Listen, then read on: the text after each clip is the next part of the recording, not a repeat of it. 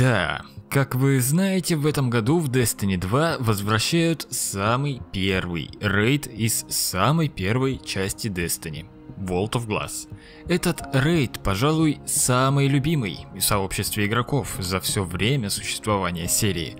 Тут создавались и разрушались самые крепкие статики. Тут сотнями заходов фармился лут – и реакция на долгожданную награду была такой, что о том, что тебе выпал Векс или Фейтбрингер, знал весь подъезд.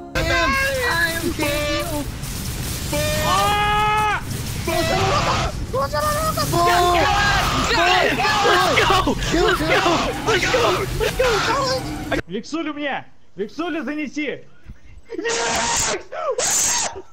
Мама, тащи камеру! Постарайтесь вспомнить, как давно вы также визжали от лута в играх. Да, оружие из этого рейда и впрямь было особенным. Лучшие наградные пушки, красивейшие сеты брони, да даже шейдер полностью белого цвета хотелось. Каждая награда была горячо желанной, но кроме лута, еще и сами механики рейда были невероятными, увлекательными, и благодаря им многие игроки, в том числе я сам, учились сплоченной командной работе при прохождении рейдов. Так что пока новогодние праздники позволяют, мы со старыми друзьями из первой части собрались и отправились в хранилище стекла, стряхнув пыль с PlayStation 4. Но прежде чем мы начнем рассказ о лучшем из рейдов Destiny, небольшое спонсорское сообщение об игре Raid Shadow Legends. Что же такого особенного в игре Raid Shadow Legends? Ну смотри, крутые чемпионы, мощные боссы, миллионы игроков и все это на годы контента и регулярных обновлений. Тебя ждут интриги, тайны и эпичные битвы, а главное, играть можно где и когда угодно совершенно бесплатно. Я на какое-то время залип в рейде и вот например чемпион Жнивец мне с первого взгляда полюбился. Он крадет бонусы противников и превращает их в штрафы, да и в принципе творит кучу сумасшедших вещей, из-за которых с ним действительно сложно бороться. Но если он вам кажется слишком пугающим, могу рассказать о другом любимом чемпионе, Тайрел. Он тоже выглядит потрясающе и он тоже очень хорош в дебафах соперника. Он даже может на два хода полностью отключить кого-то из противников. Обездвиживание противников нынче в тренде, да? Тупо мощь. С этими чемпионами мне нравится выбираться в режим битвы на арене, где можно проверить свои силы против других игроков. Кстати, в прошлом месяце в рейд вышло самое большое обновление за всю историю. Главное событие здесь – Роковая башня. Это гигантская башня со 120 этажами уровней и 12 серьезными крутыми боссами, с которыми предстоит сразиться. Уверен, что тебе тоже не терпится погрузиться в это дело. Кроме того, как раз к праздникам коллекцию героев пополнили 14 потрясающих новых чемпионов. Так чего же ты ждешь? Переходи в описание под видео, качай рейд по моей ссылке и в качестве нового игрока получи один день ускоренной прокачки, запас энергии, древний осколок, а также крутого чемпиона Вала в качестве бонуса. Хрустальный чертог – это место, не имеющее аналогов. Особое подземелье вексов, которое служит местом встречи прошлого, настоящего и будущего. Все временные рамки сходятся здесь в одной точке.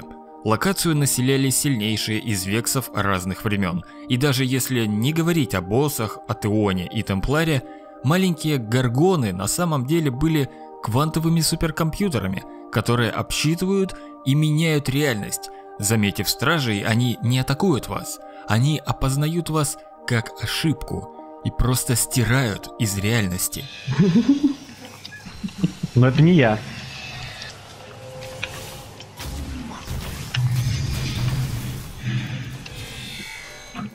Эксперименты Вексов со временем фактически были завершены и успех в том, чтобы завладеть всеми временными линиями во Вселенной, был совсем рядом. Однако команде Стражей все же удалось разрушить план Вексов и остановить зло.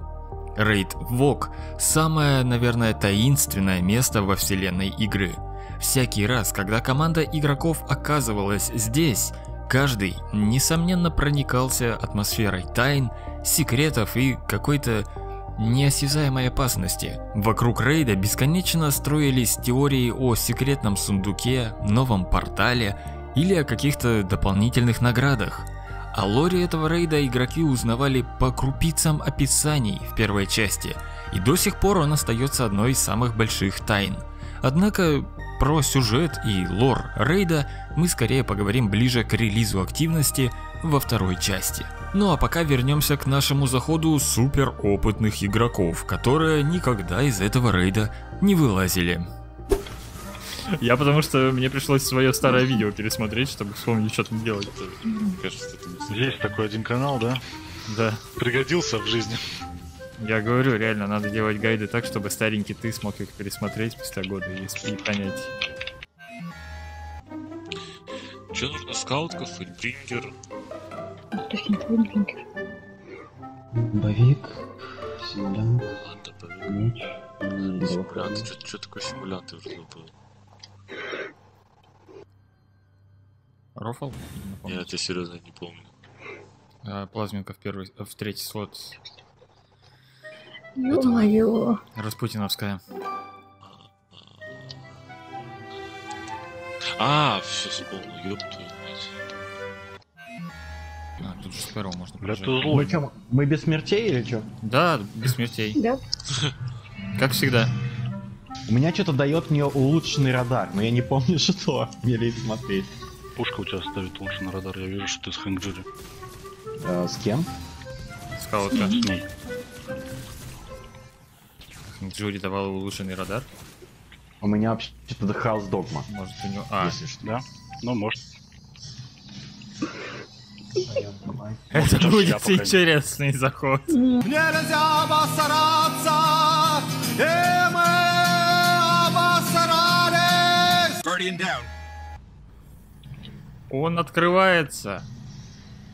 После того, как открываются врата, мы начинаем спуск в подземелье. На самом деле до следующего этапа два пути, и мне интересно, сохранится ли альтернативный путь в переиздании рейда. На этом моменте мы добираемся до большой платформы, на которой пройдет три столкновения. Первым этапом хрустального чертога станет испытание с противостоянием легионам, ордам вексов из альтернативных временных линий. Чтобы не нудить, я не буду сейчас рассказывать о каждой механике подробно, тем более что разработчики недавно признались, что перенос рейда во вторую часть тоже несколько изменит тактику прохождения, хоть и некоторые могут попытаться закрыть старыми методами. Но, скорее всего, не в нашем часовом поясе просто играют. но- Так, вы я дико извиняюсь, флаг мы не поставим, если вы его ждете.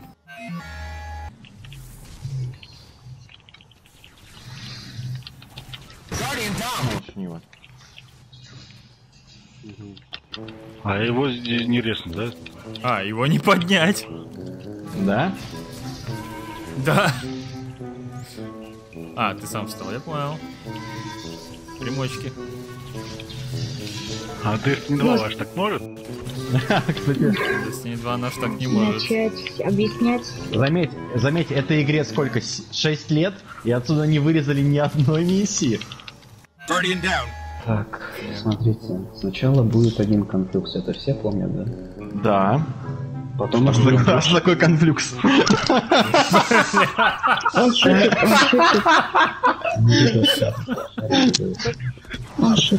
Я не пошутил. Я не, down. А из купола строить можно? Нет. Ну, выпрыгиваешь, стреляешь. Справившись с ордами вексов, мы должны уничтожить оракулы. Эти светящиеся сферы хорошо знакомы игрокам второй части. Подобные штукенции можно было найти на миссии Шепот, например. Оракулы, кстати, тоже пытались нас э, стереть. Но после того, как это мы их стираем, появляется первый босс рейда – Темплар. По сути, гигантская гидра. Но уже тут нужно врубать героический саундтрек, заряжать голохорн и палить что есть силы. Если, конечно, никто не уйдет в АФК дольше обещанного. Нет, не здесь.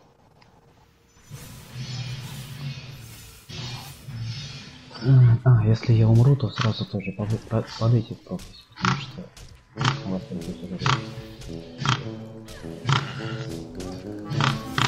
У него геймпад.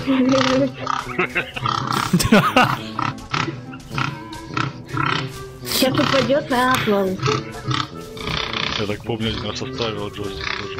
Когда услышал, бежал сквозь весь Да мы так часто роняли, да, я помню.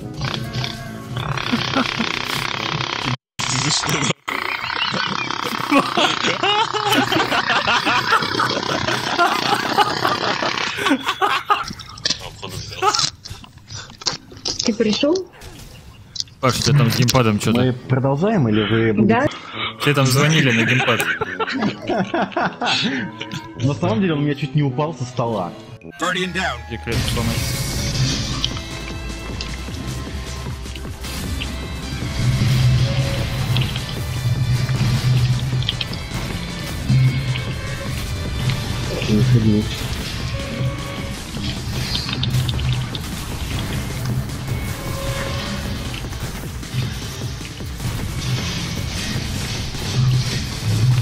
баррикадку на перезарядку. Только патроны. У меня осталось 19 патронов в Фейтбрингере, и все. Больше не надо. Добиваем, добиваем, добиваем, добиваем, добиваем. Да что ты не сдох-то, блядь? Ничего не видно. Что ты не сдох-то, я не понимаю. Конец.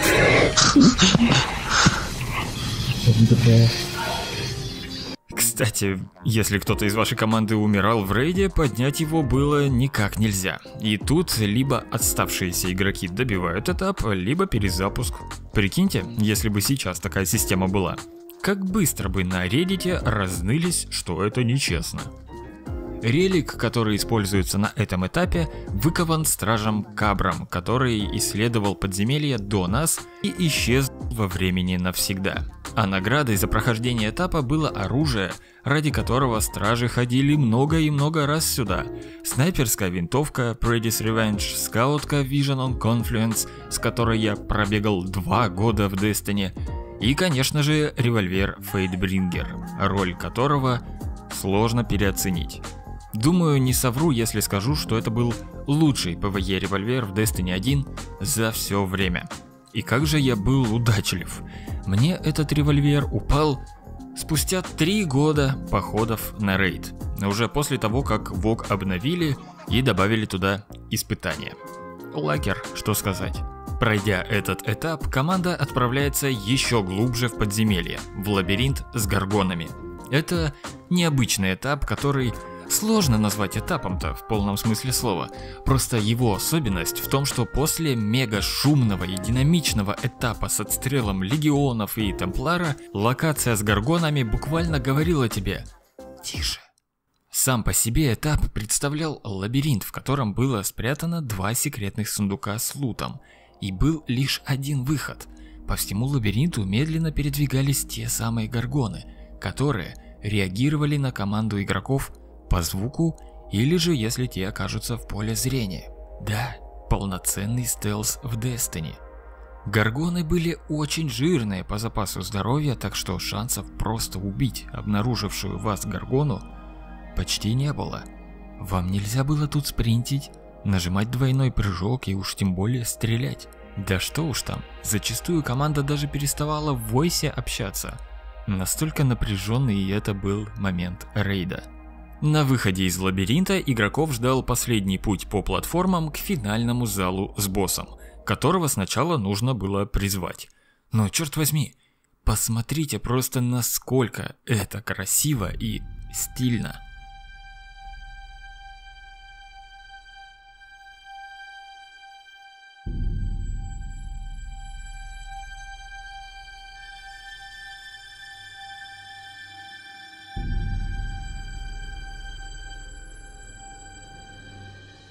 Этап сражения с Атеоном – это нечто, что всегда будут помнить стражи первой части. Механика сражения оказалась очень запутанной, роль каждого игрока была значительной, ошибаться было никак нельзя. Битва с Атеоном дарила незабываемые впечатления, поскольку проходила сразу в трех временных линиях – прошлом, настоящем и будущем. Стражам нужно было открывать порталы, разделяться на несколько ролей, заходить внутрь и в разных временных линиях уничтожать оракулы и использовать специальный защитный релик, который не позволял нам затеряться во времени. После чего нужно было прыгать во второй портал, и лишь затем начиналась фаза урона по Атеону. Ставим купол, раскрываем защитный щит релик и дамажим. Главное вовремя понять, что ты стоишь и стреляешь в купол Титана. М, Вы можете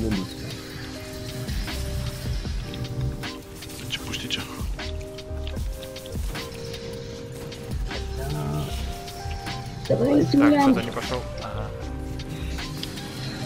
Тут так медленно симулянт просто заезжает. Да, Кому-то упал вид? Нет? кому-то еще Нет. не подумал. Куда можно? Не знаю, не знаю в чем секрет, в чем специя, но чувство победы и радость от того, что ты одолел игру, не покидает меня даже сейчас при закрытии этого рейда.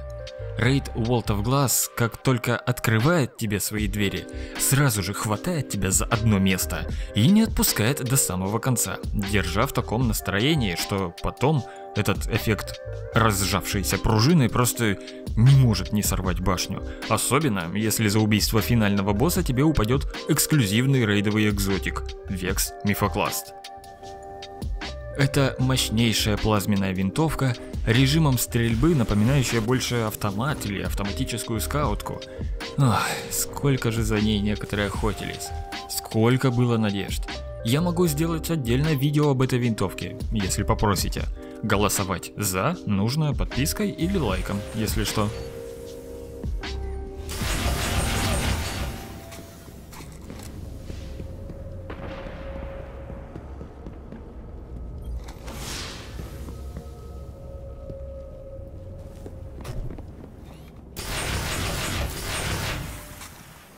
Кстати, после Вога мы еще залетели на последний вышедший рейд в первой части, Wrath of the Machine. Прошли его, опять не получили редкий корабль, хотели пойти еще на King's Fall, но некоторые уж очень торопились, так что этот забег пока отложили. Ну, все так торопятся. Я не думала, что поиграть в первую часть это для кого-то бремя. Да все в этой жизни бремя. Из-за ноги? Ну, типа. Но все так же, если хотите видос подобного рейда про мой любимый рейд, King's Fall, то пишите и лайкайте. Контента по первой части я могу клепать хоть вагонами, только попросите. Ну и знаете, после того как мы прошли эти два рейда, я запустил вторую часть, отправился в СГК, и конечно, чувства не те. На контрасте, да еще и с коктейлем на ностальгии, все оказывает меньшее впечатление. Рейд of Glass для массы игроков так и остался непревзойденным приключением. Возможно, потому что он как первая любовь, первый рейд, оказал такое впечатление. А возможно и правда сработали все те механики, триггеры и эмоции, заложенные разработчиками в эту работу тогда. Сказать трудно. Именно поэтому World of Glass вернется в Destiny 2, чтобы напомнить, кто тут батя. Ну а мы уж посмотрим, сработает ли он в сиквеле с таким же разрывом, как когда-то сработал для меня и моей команды. Спасибо за просмотр, уже не терпится узнать вашу реакцию на это видео, буду следить за лайками и комментариями. Увидимся в следующих роликах. Счастливо!